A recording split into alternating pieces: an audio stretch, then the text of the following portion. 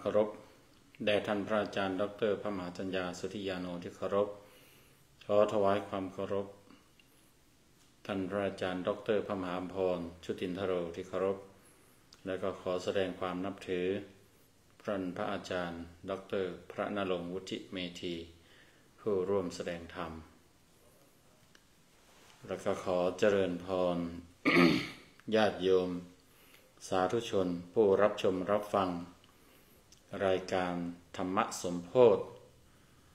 ประจำวันพระแรมแปดค่ำเดือนสิบประจำแห่งวันพุธ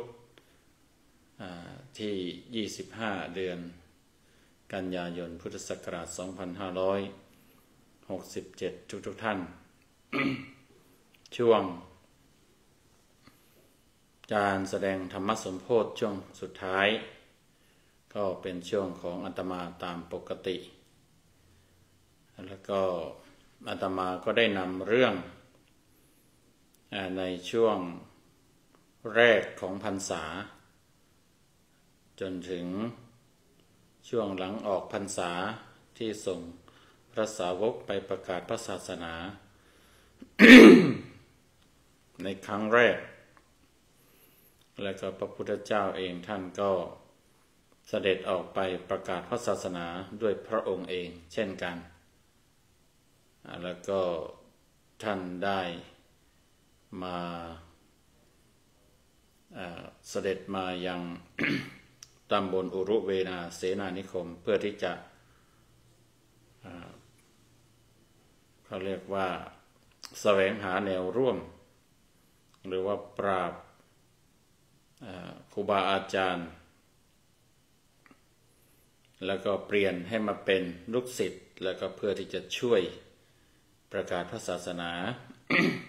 นั่นก็คือท่านเสด็จมาในเชิงยุทธศาสตร์การเผยแผ่พุทธศาสนา หาแนวร่วมจากบุคคลที่มีชื่อเสียง จากบุคคลผู้ที่เป็นผู้นำทางจิตวิญญาณที่ผู้คนนั้น เชื่อถือเคารพแล้วก็เมื่อได้มาเป็นแนวร่วมของพระองค์ เป็นสาวกของพระองค์แล้วก็จะเป็นกำลังอย่างใหญ่หลวง ในการที่จะเผยแพร่พุทธศาสนาหรือว่าก่อตั้งวางรากฐานพุทธศาสนาให้มีความมั่นคง ในจิตใจของผู้คนในการมาโปรดหรือมาสอน ชาดินนั้นพระองค์ก็ใช้ปาฏิหาริย์ครบทั้งสามประการปาฏิหาริย์ในทางพระพุทธศาสนานั้น มีอยู่สามประการ มีอยู่สามแบบสามแนวหนึ่งก็คืออิทธิปาฏิหารก็คือปาฏิหารที่เกิดจากการแสดง อิทธิฤทธิ์นะก็คือสามารถที่จะแปลงกายแปลงร่างเหาะเหินเดินอากาศ หรือว่าเสกสิ่งต่างๆ ให้เป็นไปดังที่กำหนดอย่างที่ปรารถนานี่ก็คือเรื่องของอิทธิปาฏิหารประการที่สองก็คืออาเทศนาปาฏิหาร ก็คือการใช้อำนาจจิตพลังจิตที่จะรู้ใจทักทายใจ ทักคนอื่น เป็นการรู้ใจของผู้อื่น อาเทศนาปาฏิหารก็คือปาฏิหารอันเกิดมาจากการอ่านใจคนอื่นได้ ว่า มีความรู้สึกนึกคิดอะไร มีความปรารถนาอะไร มาหามาพบมาเจอนั้นมาด้วยเรื่องอะไรเหตุผลอะไร ประการที่สามก็คือ อนุสาสนีปาฏิหารปาฏิหารที่เกิดขึ้นจากการได้รับการอบรมสั่งสอน ได้รับการบอกกล่าว พร่ำสอน จนทำให้มีความรู้แจ้งรู้จริงรู้ชัด มีความตื่นรู้ตามที่สอนนั้น อันนี้ก็เรียกว่าอนุสาสนีปฏิหาร เป็นปฏิหารในทางพระพุทธศาสนา ซึ่งก็เกิดขึ้นได้กับผู้ที่มีการฝึกฝนพัฒนา ฝนพัฒนาจิต เฉพาะอย่างยิ่งตัวข้อที่หนึ่งอิทธิปฏิหาร และข้อที่สองอาเทศนาปฏิหาร แสดงฤทธิ์ได้ หรือว่ารู้ใจคนอื่นนั้น ถ้ามีกำลังจิตที่เป็นสมาธิขั้นสูง ฝึกสมถะฝึกสมาธิขั้นสูงก็สามารถที่จะเกิดปฏิหารหรือว่าแสดงปฏิหารสองส่วนนี้ได้ ในส่วนของอนุสาสนีปฏิหารนั้นเป็นพระปุถุชนหรือเป็นพระอริยบุคคลก็ถ้ามีการศึกษาเรียนรู้กลายเป็นพระหูสูตร กลายเป็นผู้ที่ศึกษามาก มีปัญญามาก แม้ว่าจะเป็นปัญญาจากสัญญาคือความจำการจำได้ก็ตามเนี่ยก็สามารถที่จะ แสดงปาฏิหาริย์นี้ได้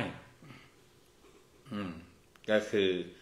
ถ้าอบรมสั่งสอนพร่ำสอนบอกกล่าว ให้เขาเปลี่ยนจิตใจเปลี่ยนชีวิตเนี่ยก็แสดงว่าเป็นปาฏิหาริย์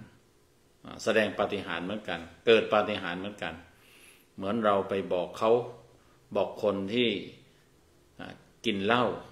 หรือว่าบอกคนที่เป็นสมารเทเมา เป็นนักเลงเป็นคนไม่ดีอะแล้วก็ให้เขาเลิกให้เขาหยุดการทำชั่วการทำไม่ดีเหล่านั้น เปลี่ยนเป็นคนละคน เปลี่ยนเป็นหน้ามือหลังมือเขาก็จะใช้คำว่า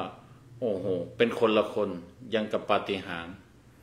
เปลี่ยนเป็นคนละคนเรากับปาฏิหาริย์เนี่ยมันไม่ใช่เป็นเราปาฏิหาริย์มันเป็นปาฏิหาริย์จริง ๆ ในทางพุทธศาสนา แล้วก็ อนุสาสนีปฏิหารนั้น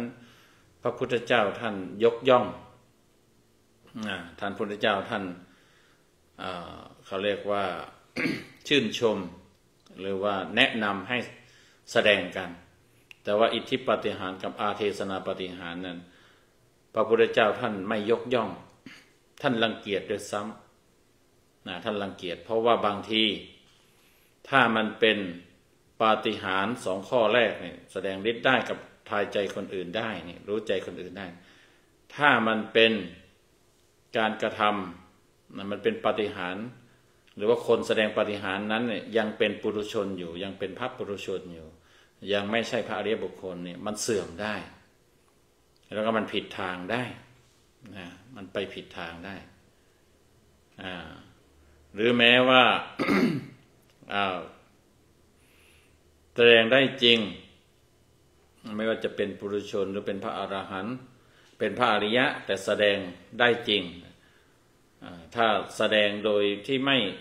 สมควรแก่เหตุนี่พระพุทธเจ้าท่านก็ไม่ยอมให้แสดง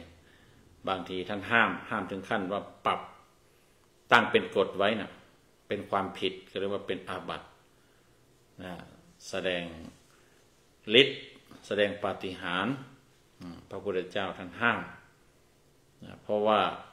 มันทำให้คนนั้นหลงไหล มันทำให้คนนั้นบางทีไปติด ไปติดแล้วก็ไปหวังพึ่งสำคัญคือไปหวังพึ่ง คนเรานั้นมีธรรมชาติก็คือว่า อยากสบายอะไรอยากได้อะไรอยากเป็นอะไรอยากมีอะไรเนี่ยก็อยากได้มาง่ายๆยิ่งถ้าหากว่ามีคนมามอบให้มีคนทำให้ ก็ยิ่งชอบใจก็ยิ่งพอใจเนี่ยถ้าหากว่าพระพุทธเจ้าท่านไปส่งเสริมไม่ห้ามไว้เนี่ยก็จะทำให้ผู้คนนั้น ไปหวังพึ่งคนคนนั้นคนที่ทำได้ คนที่แสดงสิ่งเหล่านั้นได้ อืมก็ไม่ยอมพัฒนาตัวเอง ไม่ยอมพึ่งตนเอง อันนี้ผักผิดหลักทางพุทธศาสนา ทางพุทธเรานั้นจะต้องพึ่งตัวเองอไป พึ่งพวกเอง ผู้อื่นนั้นทำให้คนอื่นลำบาก เป็นภาระของผู้อื่น เราจะต้องพึ่งตนเอง การไปพึ่งคนที่แสดงฤทธิ์ได้ แสดงปาฏิหาริย์ได้ ก็คือโมแต่หวังพึ่งแล้วก็ไม่พัฒนาตน ความวิเศษวิโสหรือความดีนั้น ศักยภาพนั้นก็มีอยู่ที่คนอื่น ไม่ได้มีอยู่ที่ตัวเอง อ่าแล้วก็มันเป็นข้อผิดพลาด อีกส่วนหนึ่งก็คือ ถ้ามันเป็นเรื่องของว่าผู้แสดงปาฏิหาริย์ผู้แสดงฤทธิ์เหล่านั้นเนี่ยเป็นพระเนี่ยญาติโยมเนี่ยก็จะไปหาแต่เฉพาะ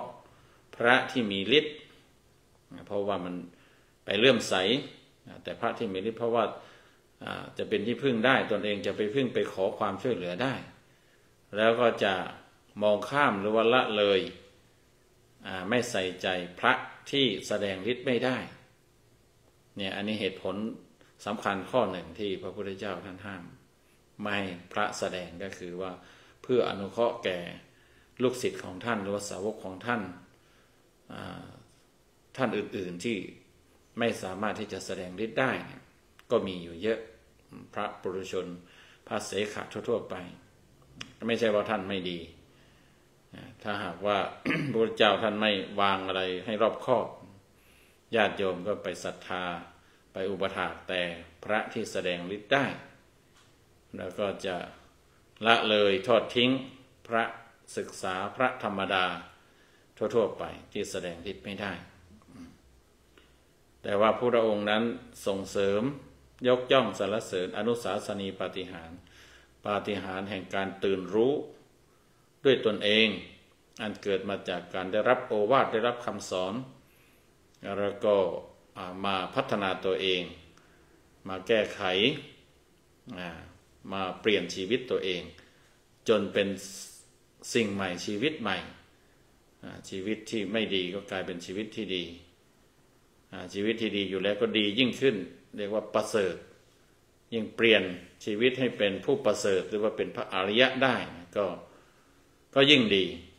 เนี่ยตัวนี้มันจะเกิดจากการใช้อนุสาสนีปาฏิหารปาฏิหารตัวที่สามนี้ดังนั้นพระองค์จึงยกย่อง พระพุทธเจ้า พระพุทธองค์เรานั้นใช้ปาฏิหารทั้งสามนี้ในการโปรดชดินนะ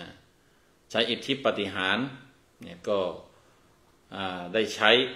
อย่างเช่น ปราบ ปราบพญานาคนี่ในการมาขออยู่กับขอพักอยู่กับรู้เวลากัสปะ พี่ใหญ่ของชดินสามพี่น้องเนี่ยพระเจ้าก็ปราบพญานาคของอุรุเวลากัสปะ เสียลาบคราบเนี่ยใช้อิทธิปฏิหารนะเพราะว่าแสดงฤทธิ์แสดงฤทธิ์ก็คือว่าเสกควันก็ได้ เสกไฟก็ได้เพราะว่า พญานาคเขามีฤทธิ์ของเขาเหมือนกัน เป็นสัตว์เดรัจฉานที่มีฤทธิ์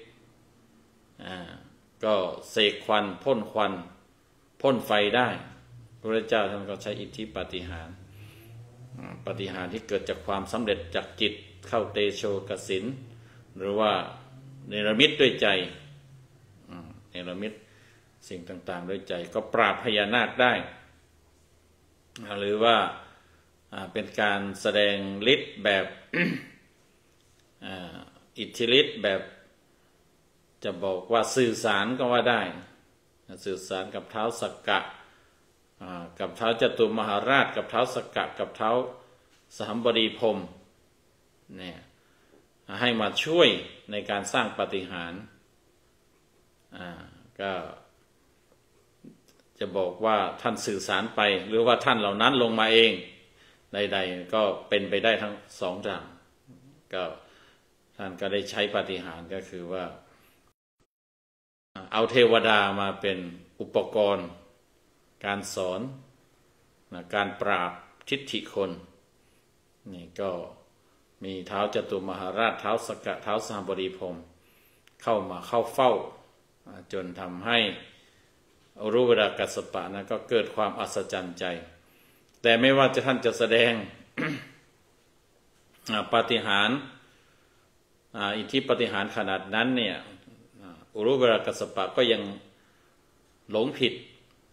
มีมานะมีทิฏฐิที่ผิด มีมานะคิดว่าตัวเองนั้นดีกว่า เพราะว่าคิดว่าตัวเองนั้นเป็นพระอรหันต์คิดว่าพระพุทธเจ้า แม้จะมีฤทธิ์มาก แต่ก็ไม่ใช่พระอรหันต์นะมีทั้งทิฏฐิและชั่วแล้วก็มานะชั่ว ข่มคนอื่น อ่า แล้ววันนี้ที่จะเล่าวันนี้ก็จะเป็นเรื่องของที่พระพุทธเจ้าแสดงอาเทศนาปฏิหารนั่นก็คือไปรู้ใจ รู้ความคิด รู้จิตใจของอุรุเวลากสปะ แล้วก็ที่บอกว่าพระพุทธเจ้าใช้ทั้งสามสุดท้ายแล้วเนี่ยพระพุทธเจ้าก็ไปจบไปจบที่อนุสาสนีปฏิหาร ซึ่งก็คือได้สอนสอนให้จดินทั้งหลายแหล่นี้ได้เข้าใจความจริงตามพื้นฐานของตนเอง พระเจ้าสอนด้วยอาทิตตปริยายสูตร ซึ่งก็จะได้จะได้นำมากล่าวในโอกาสต่อไปดังนั้นพระพุทธเจ้าก็จำเป็นบางคราวนี่จำเป็นต้องใช้ปาฏิหาริย์จำเป็นต้องใช้ฤทธิ์ต้องแสดงฤทธิ์ จำเป็นต้องใช้การดักทายใจทักใจทักคน ทักความคิดทักใจของคน ที่เรียกว่าอาเทศนาปฏิหาร ถ้ามันจำเป็นถ้าไม่จำเป็นท่านก็ไม่ใช้ใช้แต่อนุสาสนีปฏิหารนะเพราะว่ามันดีกว่าอันอื่น อันสองอันแรกนะมันเป็นความสามารถเฉพาะของผู้แสดง คนอื่น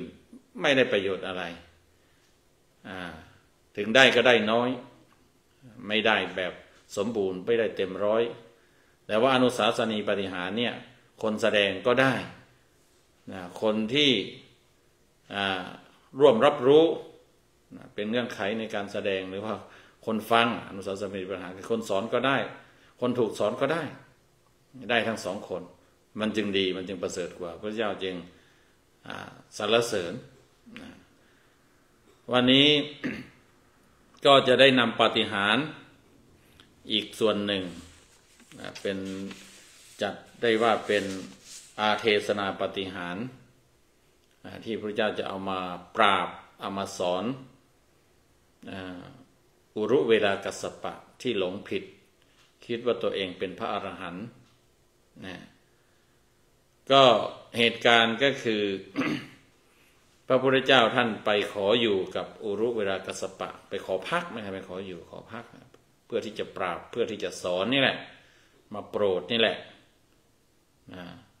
ทีนี้ก็ไปอยู่นานนะเพราะว่าอุรุเวลากัสปะนี้ยังไม่ยอม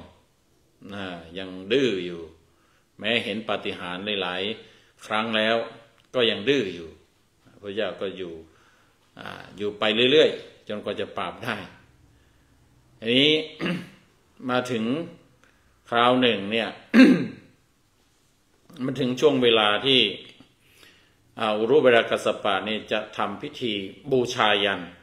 อย่างยิ่งใหญ่การบูชายันนั้นเป็นเรื่องของนักบวชในศาสนานั้น ในศาสนาในร่วมสมัยในสมัยนั้นศาสนาพราหมณ์เขาบูชายัน เพราะว่ามีสิ่งสูงสุด อาจจะเป็นพระพรหมหรือว่าเป็นเทพเจ้าใด ๆ ที่เขานับถือเขาถ้าทำการบูชาให้พระพรหมท่านพอใจ ท่านก็จะโดนบันดาล หรือว่ามอบความสุขความเจริญรุ่งเรือง หรือปกป้องคุ้มครองใด ๆ ให้เขาก็จัดถึงเวลาที่รู้เวลากัสปะชาดินเนี่ยรู้เวลากัสปะ เขาจะทำพิธีบูชายัน ถึงวันที่ทำพิธีบูชายัน เป็นวันที่ทำเป็นการบูชา เป็นกิจกรรมที่ทำเป็นปกติจนชาวชาวเมืองชาวเมืองชาวป้านชาวเมืองเมืองมคตกับเมืองอังคะเป็นแคว้นเป็นเมืองใหญ่ๆเขารู้กันว่ารู้เวลากสปะพวกชดินจะทำพิธี บูชายัน ก็ได้จัดการบูชายันขึ้นมา แล้วก็คงจะมีการเป่าประกาศประชาสัมพันธ์ด้วย คนที่รู้อยู่แล้วก็มาตามวันเวลาคนที่ได้รับข่าวก็มากัน ทีนี้ท่านรู้เวลากัสปะนี่ก็เกิดความคิดเกิดความคิด เกิดความกลัว คิดกลัวว่า เออเนี่ย ลูกศิษย์ลูกหาของเราชาวบ้านชาวเมือง จากแคว้นอังคะมกทะเนี่ย ที่นับถือเรามา มีจะมาร่วมงานบูชายันนี่มากมายนะเขาจะเอาถือข้าวถือของถือลาบสักการะเข้าปลาอาหารมาร่วมงานนะมาถวายเราเนี่ย เยอะแยะมากมาย แต่ถ้าหากว่าจนเหล่านั้นมาเห็นพระพุทธเจ้าพระพุทธเจ้าแล้วก็พระพุทธเจ้าได้ แสดงปาฏิหาริย์แสดงอิทธิฤทธิ์แสดงปาฏิหาริย์ให้เห็นให้ดูเนี่ยชาวบ้านชาวเมืองนั้นก็จะหันไปเลื่อมใสหันไปเลื่อมใสพระพุทธเจ้าแทน แล้วก็อุปถากอุปถัมภ์บำรุงถวายข้าวปลาอาหาร แก่พระพุทธเจ้า แก่พระสมณโคดมนี้แทนลาบสักการะชื่อเสียงของพระพุทธเจ้า หรือพระสมณโคดมก็จะ มากมายมหาศาลเลยว่ามีเยอะ ส่วนลาบสักการะชื่อเสียงของเราก็จะลดถอยอก็จะหมดไป แกก็คิดคิดปริวิตกนะคือคิดวิตกกังวล แล้วก็คิดปรารถนาว่า โอ้โน อันนี้หมายถึงว่าวันรุ่งขึ้นนะ วันรุ่งขึ้นจะเป็นการ วันจัดงานเนี่ยแกก็คิดกังวลว่ากลัวพระพุทธเจ้าจะมา เพราะว่าพระพุทธเจ้าจะมาที่สำนักของรูปรากสปะเนี่ยที่รู้ว่าที่อยู่ของรูปรากสปะนี่เพื่อที่จะมาฉันพัตตาหาร เพราะว่ารูปเวลากสปะเนี่ยตั้งแต่อนุญาตให้ขออยู่ ให้พระพุทธเจ้าได้อยู่พักเนี่ยแล้วก็เห็นพระพุทธเจ้าแสดงปาฏิหาริย์นี่ก็เลื่อมใส แล้วก็นิมนต์ให้อยู่ ให้อยู่นานๆให้อยู่ตามชอบใจแล้วก็จะถวายการทำนุบำรุงถวายอาหารเอง เรื่องอยู่เรื่องกินนั้นไม่มีปัญหาจะให้ให้ที่อยู่แล้วก็จะให้ให้ให้อาหารการกินด้วยเนี่ยอาหารการฉันด้วย ดังนั้นพระพุทธเจ้าก็จะมามาฉันมารับบิณฑบาตจากที่อยู่ของรูปเวลากัสปะเนี่ยแต่เมื่อเขาจะจัดงานใหญ่เนี่ยแกก็เลยกลัว กลัวพระพุทธเจ้าจะมาแย่ง กลัวพระเจ้าจะมาแย่งศีลหรือว่าจะมาแย่งลาบสักการะชื่อเสียงเนี่ยอ่าก็เลยคิดขึ้นมาว่า โอ้อ่า ถ้ามันเป็นไปอย่างนั้นเนี่ยเราจะเสื่อมละเสื่อมลาบสักการะพระสมณะโคดม หรือพระพุทธเจ้าของพระพุทธเจ้านั้นจะเจริญด้วยชื่อเสียงแล้วก็ลาบสักการะ ก็เลยคิดปรารถนาปรารถนาไม่ดีนะบอกว่าคิดไม่ดีบอกว่า โอ้ มันคงจะดี ถ้าพรุ่งนี้นี่ สมณะโคดมหรือพระพุทธเจ้านี่จะไม่มา จะไม่มาไม่มาบินทบาทจะไม่มาที่งานของเราทีนี้ไอ้ความคิดนั่นแหละความคิดที่อุรุเวลากสปะคิดในใจนะแต่ว่ามันปรากฏเป็นเสียงหรือว่าเป็นคลื่นหรือว่าเป็นอะไรก็แล้วแต่แต่พระพุทธเจ้าได้ยินเพราะว่าพระองค์มีฤทธิ์ นะพระอริยเจ้านั้น ใครคิดอะไรไม่ดี ใครคิดอะไรใด ๆ ใครคิดเป็นเป็นไปยังไงนั่นนะท่านก็รู้ เนี่ย พระพุทธเจ้าท่านก็พักอยู่ในที่พักของท่าน แต่ว่าท่านกลับได้ยินหรือว่ากลับได้รู้ รับรู้ความคิดของอรูปรากัสปะ ท่านก็เลย ไม่อยากจะหักหน้า ไม่อยากจะไปสร้างความลำบากใจ ให้กับรูปรักษปะในส่วนหนึ่ง ส่วนหนึ่งมันก็กลายเป็นเรื่องเขาเรียกว่าท่านก็แสดงปาฏิหาริย์แสดงปาฏิหาริย์เพิ่มเติมหนึ่งก็คือท่านรู้ใจของอของรูปรักษปะนี่ก็เป็นปาฏิหาริย์อยู่ในตัว แต่อันนี้การที่ไม่ท่านไม่ไปรับบิณฑบาตไม่ไปงานบูชายันของรูปเวลกสปะ แล้วไปแสวงหาอาหารบิณฑบาตเองนะ ก็กลายเป็นปฏิหารอีกแบบหนึ่งกลายเป็นอิทธิปฏิหารขึ้นมา นั่นก็คือเมื่อพระองค์รู้อย่างนั้น พระองค์ก็ไม่ไป ไม่ไปงานบูชายันของรูปเวลกสปะ แต่ว่าพระองค์นั้นไปนะครับไปที่เสด็จไปที่ทวีปอื่นเขาเรียกว่าเสด็จไปอุตรกุรุทวีปไปบินทบาทที่โน่นนะแล้วก็ รับบินทบาทมาแล้วนี่ก็มาฉัน ฉันที่ฉันพัตหารที่ริมฝั่งริมสะอโนดา แล้วก็พักกลางวันที่นั่น เราเมื่อได้เวลาท่านก็กลับมานะกลับมาก็คงจะเป็นเย็นๆหรือตอนค่ำอะไรอย่างนั้นนะ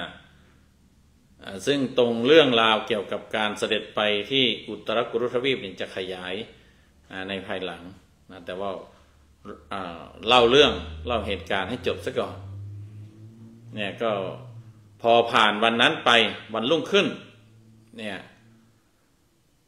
กุรุวรากสปะก็มาหาพระพุทธเจ้า ก็คือมานิมนต์นั่นแหละแต่ละแต่เราแต่ละวันละวันก็จะมาได้เวลาพัฒหารก็จะมาบอกพระพุทธเจ้า จะมานิมนต์พระเจ้าไปฉันเช้าไปฉันข้าว ฉันพัฒหาร ก็บรรลุขึ้น เสร็จการเสร็จงาน ส่งแขกส่งลูกศิษย์ลูกหาตอนรับลูกศิษย์ลูกหาส่งลูกศิษย์ลูกหา จนค่ำจนคืนแล้วลุ่งขึ้นมาก็ไปหาพระพุทธเจ้า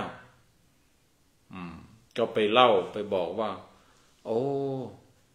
เมื่อวานเนี่ยเราได้ทำพิธีบูชายัน มีจัดงานใหญ่พูดง่ายนะ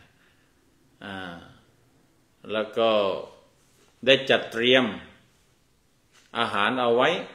ตามปกติเนี่ยเอาไว้ถวายพระพระสมณโคดมเหมือนกัน แต่ทำไมพระองค์เนี่ยจึงไม่มาเหมือนนะอ่าพวกข้าพระองค์พวกข้าพเจ้าเนี่ยจัดงานแล้วก็เตรียมอาหารไว้ให้เหมือนกัน แต่ทำไมท่านสมณโคดมเนี่ยจึงไม่มาจึงไม่ไปรับอาหารหรือไม่ไปฉันอาหาร พระเจ้าก็สวนคืนเลย เพราะว่าท่านรู้อยู่แล้ว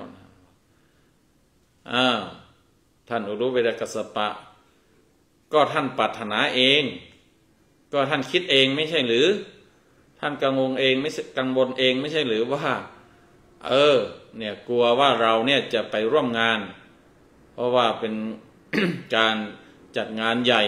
ผู้คนมาเยอะแยะมากมาย ท่านกลัวเราจะไปร่วมงานกลัวเราจะแสดงปาฏิหาริย์ แล้วคนจะหันมาเลื่อมใสเราอ่าท่านก็เลยบอกว่า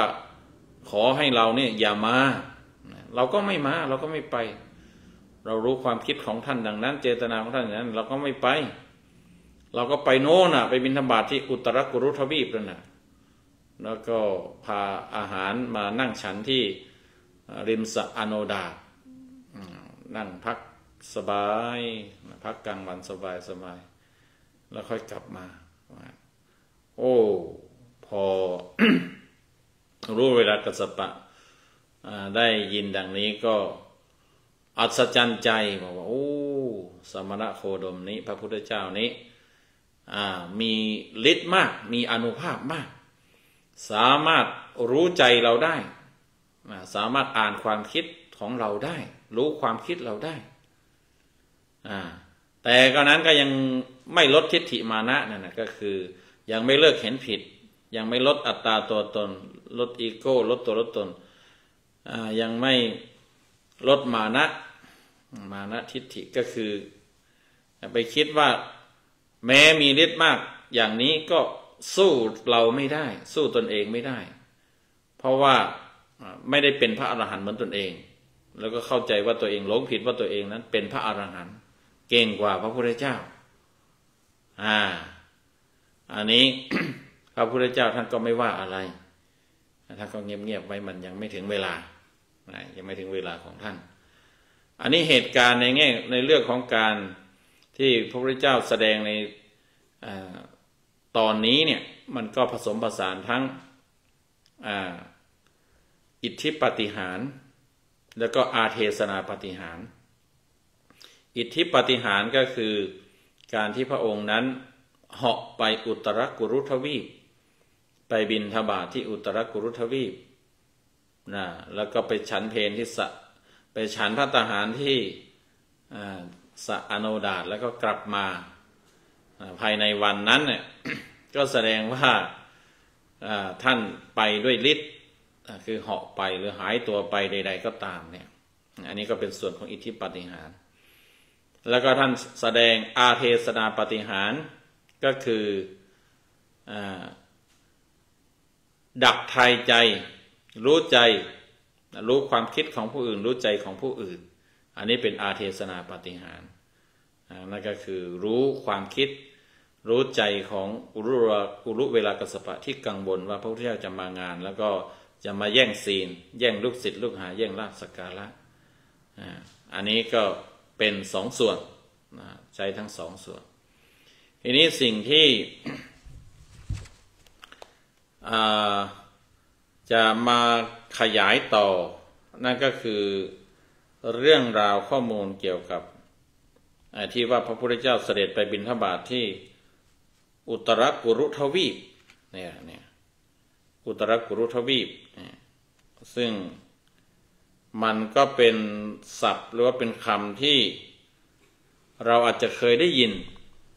แล้วก็เป็นคำที่มีในพระไตรปิฎกอยู่เหมือนกัน แล้วก็สลับคนที่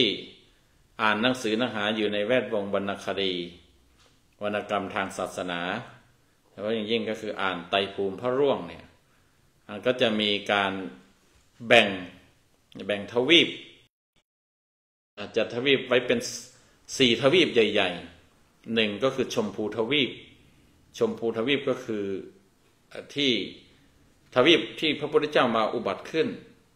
แล้วก็มีหมู่มนุษย์อยู่ก็คือพวกเรานะพวกเราทั้งหลาย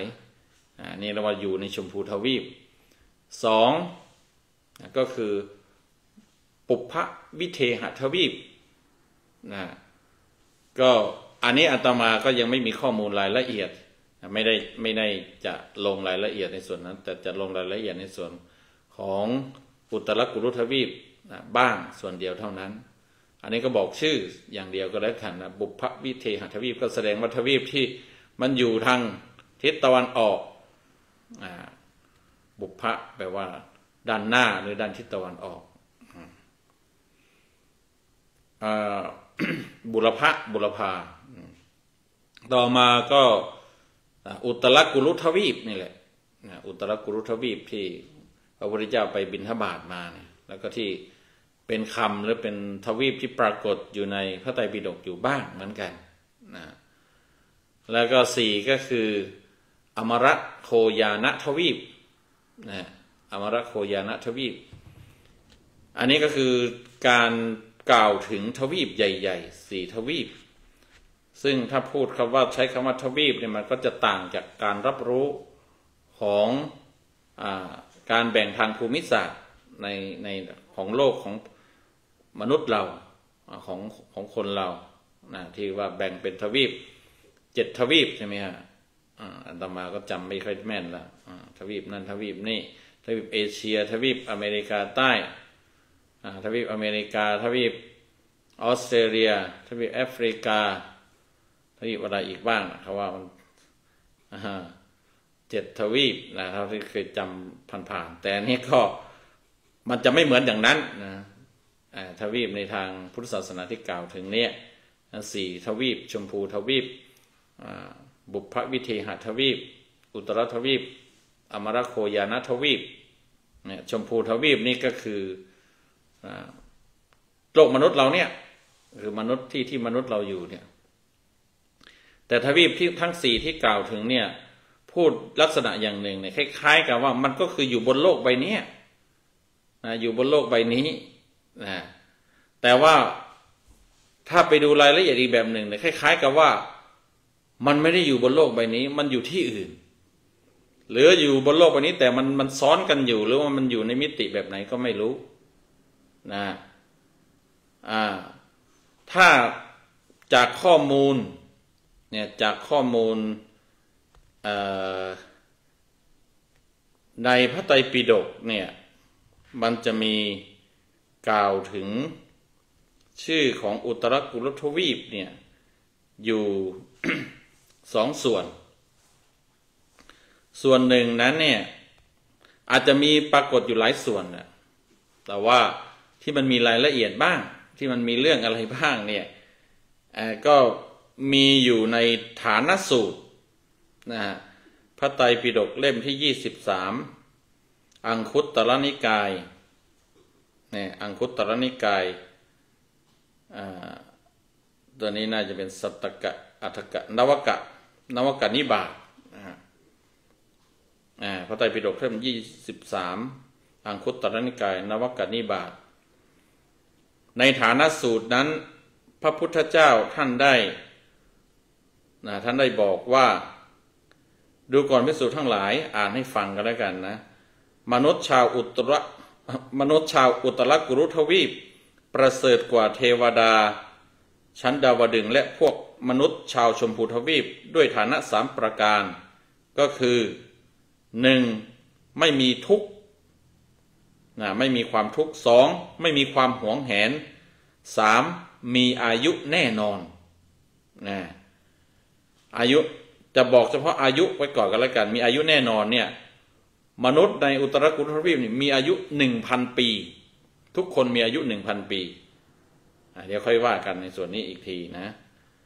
อันนี้ก็คือมนุษย์ในอุตรกุรุทวีปเนี่ยมีความประเสริฐกว่าเทวดาชั้นดาวดึงและมนุษย์ในชมพูทวีปคือมนุษย์เราโลกเราเนี่ยด้วยสาม สามลักษณะก็คือหนึ่งเขาไม่มีความทุกข์สองไม่มีความหวงแหนสามมีอายุที่แน่นอนนะทีนี้พระเจ้าก็ตัดต่อไปอีกบอกว่า ดูก่อนพิสุทั้งหลาย เทวดาชั้นดาวดึงนั้น ประเสริฐกว่ามนุษย์ในอุตรกุรุทวีป และในชมพูทวีปเนี่ยด้วยฐานะสามประการนะพวกเทวดาในชั้นดาวดึงนี่ดีกว่า และประเสริฐกว่ามนุษย์ ในอุตรกุรุทวีปและในชมพูทวีปในสามประการหนึ่งก็คือมีอายุทิพย์เนี่ยอายุของเทวดาชั้นดาวดึงนี้ก็คืออ่าหนึ่งหนึ่งพันปีทิพย์โดยคำนวณจากว่าหนึ่งร้อยปีอ่าของโลกมนุษย์นี่เท่ากับหนึ่งวันหนึ่งคืนของเขาเนี่ยคำนวณดูทีนี้อ่าเขานะมีอายุหนึ่งพันปีทิพย์ หนึ่งวันหนึ่งคืนของเขานี่ก็เท่ากับหนึ่งร้อยปีของเราแล้วนะแล้วคำนวณไปหนึ่งเดือนสามสิบวันเป็นหนึ่งเดือนสิบสองเดือนเป็นหนึ่งปีเนี่ยอันนี้พันปีทิพย์จะขนาดไหน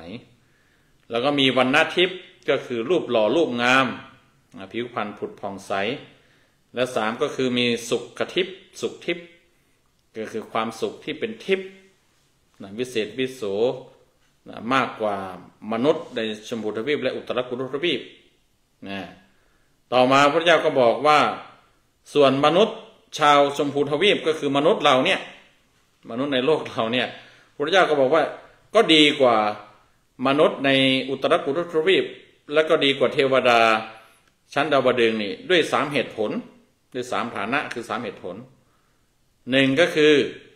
เป็นผู้กล้า อ่าเอามนุษย์เราในกายเป็นผู้กล้านะครับมีความกล้าหาญสองเป็นผู้มีสตินะมีสติมีความระลึกรู้ได้นะแล้วก็สามเป็นผู้อยู่ประพฤติพรหมจรรย์อันยอดเยี่ยมอ่าเขาว่ามนุษย์เราเนี่ยมนุษย์ในชมพูทวีปเนี่ยก็ดีกว่ามนุษย์ในอุตรกุรุทวีป แล้วก็ดีกว่าเทวดาชั้นดาวดึงด้วยสามเหตุผลก็คือ เป็นผู้กล้า แสดงว่ามนุษย์เรานี่ก็คือใจกล้า กล้าที่จะประพฤติปฏิบัติตนที่จะฝ่าฝืนฝ่าฟันความชั่วร้าย อุปสรรคปัญหานานา หรือฝ่าฝืนกิเลสหรือเปล่า ฝืนใจ แล้วก็เป็นผู้มีสติเป็นผู้มีสติ เขาบอกว่า มนุษย์เหล่านั้นมีสติ ส่วนมนุษย์ในชมพูทวีปมีสติดีกว่า เทวดาชั้นดาวดึง เทวดาชั้นดาวดึงนั้น มันติดสุข มันมีแต่สุข มันเลยหลง เพลินกับความสุข เพลินนี่ก็แสดงว่าเพลิดเพลินแสดงว่าหลงนะไม่ได้ตั้งไม่ได้สติไม่ได้ยั้งคิดอ่า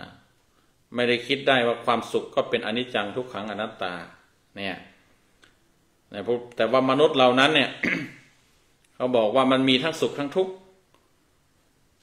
พวกที่ไม่มีสติเลยเนี่ยก็พวกพวกที่สุขมีสุขอย่างเดียวคือพวกเทวดา หรือพวกสัตว์นรกก็มีทุกข์อย่างเดียวก็บอกว่าระลึกนึกอะไรไม่ได้ มีแต่ความทุกข์มีความหวาดวิตกอย่างเดียว แต่ว่ามนุษย์เรานั้นเจอทั้งสุขทั้งทุกข์เนี่ยมันเลยกลางๆมันเลยพอดี เขาให้อธิบายอย่างนั้น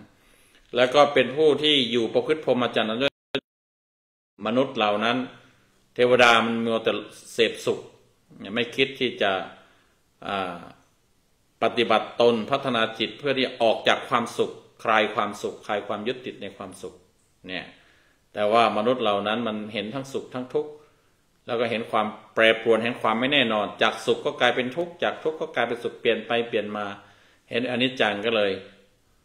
ประพฤติพรหมจรรย์ก็คือว่าประพฤติเพื่อที่จะพ้นไปจากทั้งสุขทั้งทุกข์นะไม่ต้อง วนเวียนอยู่กับสุขกับทุกข์ติดอยู่กับสุขกับทุกข์เนี่ยทีนี้ที่จะกล่าวก็คือเรื่องเกี่ยวกับความเป็นไปเรื่องอุตรกุรุทวีปเนี่ยมันเป็นลักษณะยังไง ก็จะอ่านนะครับอ่านจากข้อมูลนะข้อมูลของอันนี้เป็นข้อมูลของอ เจ้าของลิขสิทธิ์เราศูนย์มนุษยวิทยาสิรินทรนะผู้เรียบเรียงเรียบเรียงก็คือว่าวรยาช้างขวัญยืนนามสกุลช้างขวัญยืนนี่น่าจะเป็นอะไรเกี่ยวข้องกับ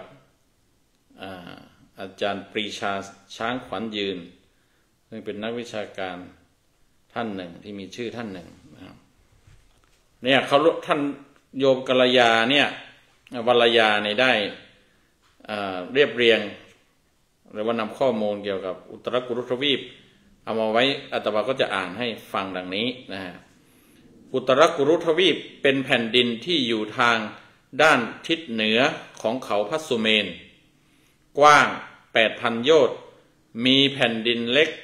500 แผ่นดินรอบร้อมเป็นบริวาร แผ่นดินทวีปนี้เป็นที่ราบเสมอกันดูสวยงาม มีต้นไม้ทุกชนิดเจริญงอกงาม กิ่งก้านสาขาตรงสมบูรณ์ดี ไม่มีมแมลงรบกวน ไม้ผลไม้ดอกต่างก็มีผลมีดอกอยู่เสมอ กิ่งไม้เหล่านี้เป็นที่อยู่อาศัยของผู้คนในอุตรกุรุทวีป ถ้ามีรูไม้อยู่ที่ใด เขาก็เข้าไปอาศัยอยู่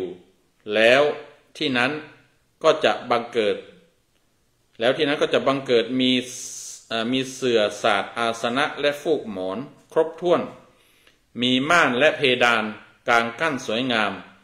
ที่ใดเป็นหนองน้ำก็มีดอกบัวแดง บัวขาว บัวเขียว บัวหลวงกระมุด โกมุดหรือว่ากระน่าจะเป็นโกมุด อุบล ดอกอุบล ดอกจงกลนี นิรบนทรงกลิ่นหอม ขจรขจายเมื่อลมพัด ในแผ่นดินอุตรกุรุทวีปมีต้นกระปะพึก อยู่ต้นหนึ่งสูงหนึ่งร้อยโยชน์โยชน์หนึ่งก็สิบหกกิโลนะกว้างหนึ่งร้อยโยชน์โดยรอบปริมณฑลสามร้อยโยชน์ต้นกระปะพฤกนี้เป็นไม้วิเศษ ผู้ใดปรารถนาจะได้ทรัพย์สมบัติ แก้วแหวนเงินทอง ผ้าผ่อนแพรพันข้าวปลาอาหารหรือสิ่งใด ๆ ก็ดี ต้นกระประพฤกก็จะบันดาลให้ได้ดังประสงค์ทุกคน ผู้คนในอุตรกุทวีปมีใบหน้าเป็นสี่เหลี่ยมอ่าอันนี้มีใบหน้าเป็นสี่เหลี่ยม รูปร่างกระทัดรัดสวยงาม มีกำลังวังชา ทุกคนล้วนเป็นคนดีมีบุญรักษา มีบุญรักษาศีลอยู่เสมอ ไม่เคยต้องเดือดร้อนใจ หรือกังวลเพราะเรื่องใด ๆเลย ไม่ต้องร้อนหรือหนาวด้วยลมฟ้าอากาศ ไม่มีมแมลงหรือสัตว์มีพิษใด ๆ ในแผ่นดินนี้ ชาวอุตรกุรุทวีปไม่ต้องทำนา เพราะมีต้นข้าวชนิดหนึ่ง ชื่อ ฉันชาตะสาลี คือข้าวสาลีที่เกิดเอง ข้าวนี้งอกรวงเป็นข้าวสาร สะอาดหอมปราศจากแกรบรำ จึงไม่ต้องตำต้องฝัด เมื่อจะหุงข้าวชาวอุตรกุรุตก็จะนำข้าวสารใส่ในหม้อทอง ยกไปตั้งบนศิลาแผ่นศิลา ชื่อโชติปัสานะ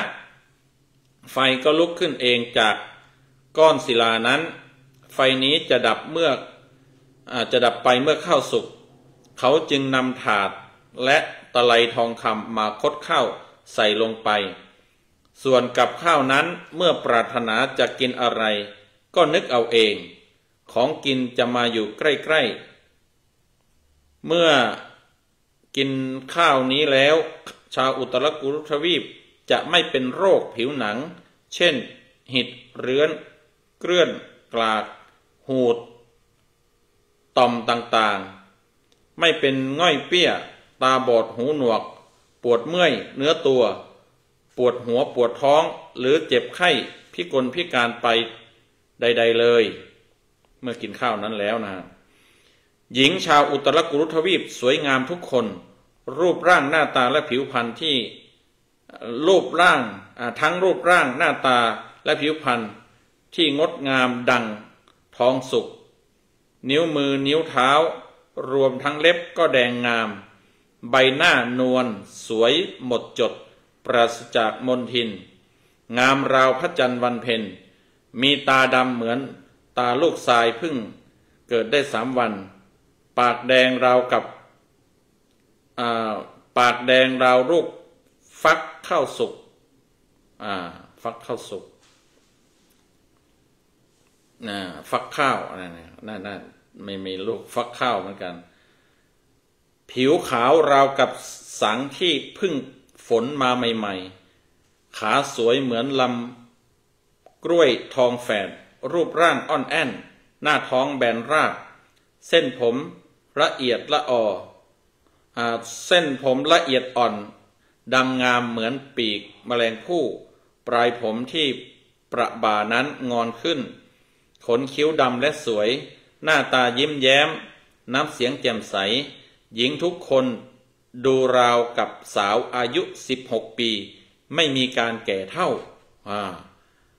ฝ่ายชายชาวอุตรุอุตรกุรุทวีปนั้นก็มีรูปร่างงาม และดูหนุ่มอยู่เสมอราวกับอายุ 20 ปีทุกคน ชายเหล่านี้กินข้าวกินน้ำกินอาหาร ล้วนแต่ดีๆรสอร่อยและเอาแต่แต่งตัว มีการทาน้ำมันหอม ทัดดอกไม้ หอมแล้วเที่ยวเล่นไปตามสบาย บางคนเต้น บางคนรำ บางคนเล่นดนตรี ดังกึ่งก้องสนุกสนาน ราวกับเทพพยดาในสวรรค์ บางพวกเที่ยวเล่นไปในสวนดอกไม้หอม เช่น จวงจันทร์กิจกฤษณาปริชาติ ผลไม้ เช่น ขนุนที่มีลูกสุกหอมหวาน ขนุนบางลูกใหญ่เท่าไหหาม เขาเรียกว่าเท่าตุ่ม บางลูกเท่ากระออม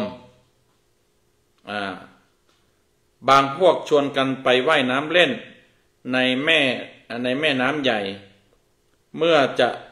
ลงเล่นน้ำชายชาวอุตรกุรุทวีป จะถอดเสื้อผ้าเครื่องประดับวางบนหาดทรายริมฝั่ง เมื่ออาบน้ำเสร็จต่างก็ขึ้นมาสวมเสื้อผ้าเครื่องประดับชิ้นใดก็ได้ ไม่มีใครว่ากัน เขาจะไม่เถียง กันหรือด่ากันเลย หญิงชายชาวอุตรกุรุทวีปเมื่อเกิดความพอใจรักใคร่กัน ก็จะอยู่ร่วมออยู่ร่วมสมกันเพียงเจ็ดวันนะอยู่ร่วมกันชอบกันในรักกันเนี่ยอยู่ร่วมกันนะเพียงเจ็ดวัน หลังจากนั้นก็จะไม่เกี่ยวข้องกันอีกเลย ทั้งคู่จะอยู่ด้วยกันอย่าง ทั้งคู่จะอยู่ด้วยกันอย่างมีความสุขจนตายจากกัน เมื่ออายุได้หนึ่งพันปี มนุษย์ชาวอุตรกุรุทวีปเนี่ยมีอายุหนึ่งพันปี ในพระสูตรฐานสูตรนั้นบอกว่ามีอายุที่แน่นอนก็คืออายุหนึ่งพันปีเนี่ยเรากับพระอรหันต์ที่สิ้นกิเลสแล้วจะอยู่ด้วยกันอย่างมีความสุขจนตายจากกันเมื่ออายุได้หนึ่งพันปี เรากับพระอรหันต์ที่สิ้นจากกิเลสแล้ว เมื่อฝ่ายหญิงมีคันและจะคลอดลูกก็ไม่รู้สึกเจ็บท้องเลย ถึงเวลานั้นไม่ว่า ผู้เป็นแม่จะอยู่แห่งใด จะมีแท่นเป็นที่อยู่ที่นอนเกิดขึ้นมาเอง เมื่อลูกคลอดแล้ว ลูกนั้นสะอาดปราศจากเลือดและมลทิน งามราวกับแท่งทองอันสุกใส หญิงผู้เป็นแม่ไม่ต้องอาบน้ำนะให้ลูกไม่ต้องอุ้มลูกและไม่ต้องให้ลูกกินนม แต่จะนำลูกน้อย ไปนอนหงายไว้บนหญ้าที่อ่อนดังสำลี ตรงริมทางที่มีผู้คนเดินผ่านไปมา แล้วแม่ก็กลับไปที่อยู่ของตน ด้วยบุญของลูกอ่อนซึ่งนอนหงายอยู่นั้น ผู้คนที่เดินผ่านไปมา เอานิ้วมือป้อนเข้าไปในปากลูกอ่อน นิ้วมือก็จะเกิดเป็นน้ำนม ไหลออกมาเลี้ยงลูกอ่อน นอกจากนั้นยังเกิดเป็นข้าว กล้วยอ้อยของกินต่างๆ มาเลี้ยงลูกอ่อนด้วย จนหลายเดือนผ่านไป เด็กนั้นโตขึ้นเด็กนั้นโตขึ้นจนเดินไปมาได้ ถ้าเป็นเด็กผู้หญิงก็จะไปอยู่กับกลุ่มเพื่อนเด็กหญิง ถ้าเป็นเด็กผู้ชายก็ไปเข้ากับกลุ่มเด็กผู้ชาย ลูกๆทั้งหลายนั้นไม่รู้จักแม่ แม่ก็ไม่รู้จักลูก เพราะทุกคนงามเหมือนเหมือนกันหมด แต่ถึงแม้จะดูงามเหมือนเหมือนกัน เมื่อเริ่มรักกัน และจะอยู่ครองคู่กันนั้น แม่กับลูกหรือพ่อกับลูก ก็จะไม่มีการจับคู่รักกันได้ เพราะชาวอุตรกุรุทวีปนั้นมีบุญ เทพพยดาตกแต่งพวกเขาให้คู่ครองกัน เมื่อถึงเวลาต้องตายจากกัน ชาวอุตรกุรุทวีป ไม่มีความทุกข์ความโศก ไม่มีการร้องไห้อะไรหากัน เขาแต่งตัวให้ศพอย่างงดงามด้วยเสื้อผ้าอาภรณ์เครื่องประดับ และของหอมต่างๆแล้ว จึงนำศพนั้นไปวางไว้ในที่โล่ง เพื่อให้นกชนิดหนึ่ง ที่บินไปมาทั่วแผ่นดินอุตรกุรุทวีป มาคาบเอาไปไว้ในที่อยู่ของมัน หรือบางครั้งก็คาบเอาไปไว้ที่แผ่นดินอื่น เช่น ฝั่งทะเล ชมพูทวีป ทั้งนี้เพื่อไม่ให้แผ่นดินอุตรกุทวีป อุตรกุทวีปสกปรกเลอะเทอะได้ นกชนิดนี้บ้างว่าเป็นนกหัสดีลิง บ้างว่าเป็นนกอินทรีหรือนกกดก็มี อ่า อันนี้คือข้อมูลที่อ่าศูนย์มนุษยมนุษยวิทยาสิรินทรนะฮะซึ่งเรียบเรียงโดย ท่านอาจารย์น่าจะเป็นอาจารย์นะฮะวรยาช้างขวัญยืนเนี่ยก็มีข้อมูลที่ตรงกันอย่างหนึ่งก็คือกับในพระไตรปิฎกที่ว่าฐานสูตรเนี่ยที่ได้อ่านไปว่ามนุษย์ชาวอุตรกุรุทวีปเนี่ยเขานะเป็นคนที่เขามีข้อดีกว่ามนุษย์ในชมพูทวีปเรา คือมนุษย์เราเนี่ยโลกเหล่านี้ แล้วก็เทวดาชั้นดาวดึงก็คือไม่มีความทุกข์ ไม่มีความหวงแหน แล้วก็มีอายุแน่นอนเนี่ยพระพุทธเจ้าท่านก็พูดถึงชาวอุตรกุรุทวีปนะก็คือเขานั้นไม่มีความทุกข์เวลาตายจากกันก็ไม่ทุกข์และไม่หวงแหนก็คือว่าเข้าของต่างๆทรัพย์สมบัติ หรือแม้กระทั่งว่าลูกของตัวเองเนี่ยอย่างที่ได้อ่านไปว่าคลอดลูกออกมาแบบง่าย ๆ แล้วก็ไม่ต้องเลี้ยงนะเอาไปวางไว้ริมทาง มนุษย์ที่เดินผ่านไปผ่านมาด้วยกันนั่นเขาจะเลี้ยงดูเอง เอามือเนี่ยหย่อนเข้าไปในปากเด็กน้อย ทารกน้อยแล้วก็กลายเป็นน้ำนมในวัยที่กินนมแล้วโตโตขึ้นมาก็พวกเข้าปลาอาหารที่เป็นที่มันเกิดตามธรรมชาติที่ของดีอะก็เกิดเองเขาก็เลยไม่มีความทุกข์ใด ๆนะฮะไม่มีไม่มีความทุกข์ส่วนหนึ่งก็คือเมื่อ ตายก็ไม่ต้องร้องไห้หรือว่าไม่มีความเจ็บป่วยนะ่ะในที่เราอ่านไปเนี่ยเขาไม่มีโรคภัยไข้เจ็บใด ๆเลยนะฮะไม่มีอ่าเขาเรียกว่าไม่มีโรคร้าย ไม่มีความเจ็บป่วย ไม่มีความปวดเบื่ออะไรใด ๆ ปวดหัวตัวร้อนไม่มี มันก็น่าจะไม่ต้องทุกข์นะฮะมันมีแต่ความสุข ไม่หวงแหนนะไม่หวงเราเรานี่หวงลูกหวงหลานทรัพย์สมบัติเขานั้นเสื้อผ้าเนี่ยก็อย่างที่บอกเขาไปอาบน้ำอาบอะไรนี่วางไว้บน ริมชายหาดริมสระริมอะไรแล้วขึ้นมาใครอยากจะใส่ของใครก็ได้ เพราะมันงามมันเหมือนกันนะเขาบอกว่าเออไออย่างหนึ่งก็คือมนุษย์ในอุตรกุลทวีปเนี่ยมีหน้าตาสี่เหลี่ยม หน้าตาสี่เหลี่ยมคนอีสานหรือเปล่าอีสานเขาบอกว่าหน้าตาเป็นเหลี่ยม แต่ไม่ใช่ ที่ว่าไม่ใช่ก็เพราะว่า คนบนโลกมนุษย์เนี่ยไม่ว่าภาคไหนก็แล้วแต่เนี่ย มันยังยังมีเกิดมันมีแก่มันมีแก่มีเจ็บมี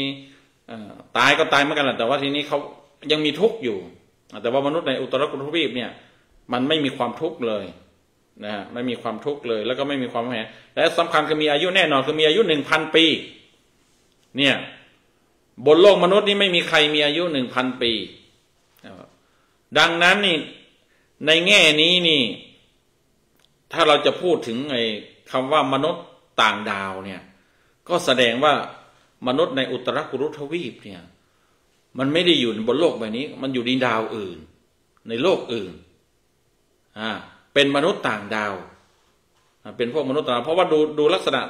ที่อ่านไปเนี่ย หน้าตาก็คืออ่าหน้าตาเป็นสี่เหลี่ยม แต่สี่เหลี่ยมแบบสวยแบบหล่อนะเขาบอกว่าผู้ชายก็หล่อนะหล่อมาก แล้วอายุนี่ไม่มีวันแก่สำคัญคือไม่มีวันแก่ มีอายุเราวๆสามมีผู้ชายนี่มีอายุเราวๆสักยี่สิบปีนะผู้หญิงก็ไม่มีวันแก่ สวยกันหมด สวยเหมือนกันหมด ผู้ชายก็หล่อเหมือนกันหมด ผู้หญิงก็หล่อก็สวยเหมือนกันหมด และมีอายุนะฮะมีอายุคล้ายๆ กับว่ามีอายุเราวๆสิบห้าสิบหกกำลังเป็นสาวอย่างนั้นกำลังเป็นหนุ่มเป็นสาวตลอดแสดงว่ามันไม่ใช่มนุษย์บนโลกใบนี้แล้ว มันต้องมี ต้องเป็นมนุษย์ที่อยู่ต่างดาวไปอยู่อยู่ที่โลกอื่น มนุษย์จากอุตรกุลุทวีปเนี่ยในพระในในคัมภีร์ทางศาสนาเนี่ยมันมีเหตุการณ์หนึ่งที่กล่าวไว้ก็คือเรื่องเกี่ยวกับโชติกะเศรษฐี มันมีเศรษฐีผู้เขาเรียกว่าผู้มีบุญในเมืองราชคฤห์ชื่อว่าโชติกะเศรษฐี โชติกาเศรษฐีนี่ที่มันเกี่ยวข้องกับมนุษย์ชาวอุตรุกรทวีปก็คือท่านมีบุญมาก แล้วก็คู่ชีวิตของท่านเนี่ยนะภรรยาของท่านไปเกิดในอุตรกุรุทวีป ดังนั้นเมื่อโชติกาเศรษฐีนี่ต้องการมีครอบครัวจะแต่งงานเนี่ยเทวดาเทวดานี่ไปอัญเชิญมาหรือว่าพาไปมาไปอุ้มมาน่ะพามาพามาจากอุตรกุรุอุตรกุรุทวีปเนี่ยมาเป็นภรรยาของโชติกะเศรษฐี แล้วเขาก็ว่ากันว่านางนั้นก็เอาเอา แผ่นหินคล้ายๆเป็นเป็นเตาไฟฟ้าน่ะที่เอามาหุงข้าวอย่างที่เราอ่านว่า ชาวอุตรุกุลทวีปเนี่ยข้าวไม่ต้องทำไร่ไถนาอะไรใดมันมีข้าวสาลีที่เกิดเอง และเป็นข้าวสารที่หอมนะก็เก็บได้เลย แล้วก็เอาไปหุง มันจะมีหม้อหม้อทองคำหุง แล้วก็เอาไปตั้งบนในอะไรโซติกะโจติกับปสานะก็คือแผ่นหินที่มันมีไฟ พร้อมที่จะติดไฟ เป็นจุดไฟได้เนี่ยเอาไปตั้ง แล้วก็ข้าวก็จะสุกขึ้นมา เมื่อข้าวสุกแล้วไฟมันก็จะดับเอง ไฟมันเกิดเองแล้วก็ดับเองอ่าเนี่ยท่านนางภรรยาของโชติกเศรษฐีนี่ก็ถืออุปกรณ์มาด้วยนะอันนี้ก็มีปรากฏว่าข้อมูลคล้าย ๆกันนะคล้ายๆกับที่เขาประมวลกันไว้เนี่ยนะตรงกันในคัมภีร์พระพุทธในคัมภีร์พระไตรปิฎก แล้วก็ในคัมภีร์อัตถกถาเนี่ยก็กล่าวคล้ายๆกันกับข้อมูลทั่วๆไปที่เขาเรียบเรียงกันไว้ อ่า ก็คืออมนุษย์ในอุตรกุรุทวีปเนี่ยไม่เหมือนมนุษย์บนโลกใบนี้ ต้องเป็นมนุษย์ต่างดาว มนุษย์อยู่ที่ ถ้าอยู่บนโลกใบนี้ก็คืออยู่ในมิติอื่นที่ซับซ้อนกัน ที่ซ้อนอยู่ในนี้ หรือไม่อย่างนั้นก็คืออยู่ในดาวอื่น ดวงดาวอื่นนะ เพราะว่ามีแค่อายุเนี่ย อายุก็มีอายุตั้งหนึ่งพันปีของเรามีแค่ร้อยปีนะมนุษย์ในชาวอุตรกุลวีมีอายุตั้งพันปี แล้วก็ไม่แก่นะเรานี่ยังมีแก่นะมีแก่ แล้วเขาไม่เจ็บไม่เจ็บปวด เรามีปวด มีเจ็บมีปวด มีป่วย แต่เขามีตายเหมือนกันนะตายแล้วก็เขาก็ไม่ได้ร้องห่มร้องไห้แต่เรานี่ทุกทรมาน ร้องห่มร้องไห้ เรามนุษย์เราก็จัดการกันไป แต่ว่ามนุษย์ชาวอุตรกุทวีปเนี่ยตัดจัดตกแต่งศพเอาไว้วางไว้แล้วก็เดี๋ยวจะมีนกพาไปเก็บไปเก็บทิ้ง ไปเก็บไว้ในที่ไกลๆอันนี้ก็เป็นข้อมูลที่น่าสนใจว่าทวีปทั้งสี่เนี่ยเนี่ยมันมีชมพูทวีปที่เรารู้กันว่าคือโรคใบนี้คือมนุษย์ ที่อาศัยอยู่เนี่ย มีอายุร้อยปี แล้วก็เป็นเป็นทวีปที่พระพุทธเจ้ามาอุบัติเนี่ย แต่ปุพพวิเทหทวีปก็ตามอุตรกุรุทวีปก็ตาม อมรโคยนะทวีปก็ตาม เข้าใจว่าน่าจะเป็นมนุษย์ต่างดาวแล้วล่ะมนุษย์ในทวีปอื่นๆนั้นก็ไม่ไม่ปรากฏนะฮะไม่ไม่ไม่มีข้อมูลเท่าไหร่ แต่ว่ามนุษย์จากอุตรกุรุทวีป หรือข้อมูลเรื่องอุตรกุรุทวีปนี่พอมี อย่างที่ได้อ่านไปว่าฐานสูตรที่พระพุทธเจ้า เปรียบเทียบมนุษย์ในชมพูทวีปในอุตรทุกทวีปกับเทวดาชั้นดาวดึงเนี่ยมีความได้เปรียบเทียบเปรียบต่างกันเนี่ยก็กล่าวถึงมนุษย์ชาวอุตรกุรุทวีป แล้วก็ข้อมูลส่วนของชีวิตของโสติกะเศรษฐีนี่ก็พัวพันกับมนุษย์จากอุตรกุรุทวีปก็คือภรรยาของท่าน เทวดานำมาจากนั่นเนี่ยอันนี้ ก็แสดงว่ายังมีองค์ความรู้